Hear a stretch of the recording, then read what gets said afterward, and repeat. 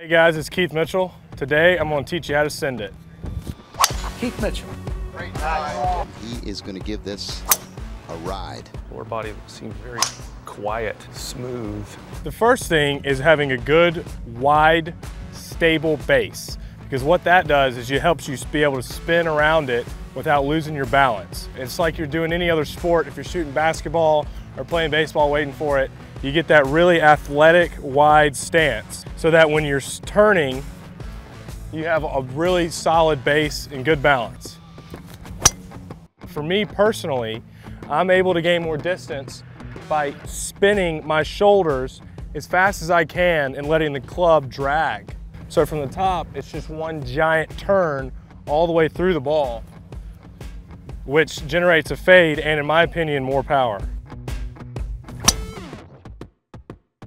So in order to get the feeling of your shoulders and your body turning first and not the club, get a swing instructor, a swing friend, or I have handyman Crunchman Pete over here to help. And I'll explain that once you get to the top, he'll grab the center of the club and he'll grab it really tight. And there's only one, and you gotta use all your power to get it to the ball. And he's gonna hold it tight and you'll see I'm gonna use my body because if I try to use my hands, it's not gonna go anywhere. But if I grab it here, it's gonna drop in that lagged position.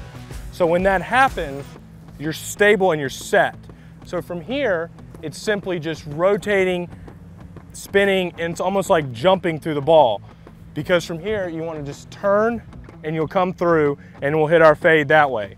Because once you get in this loaded position, it's really all body and just jumping through, through the shot.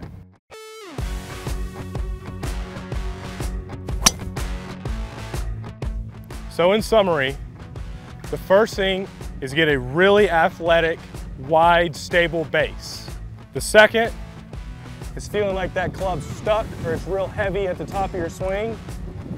And then the third is spinning your torso, your shoulders as fast as you can through the ball. And that's how you send it.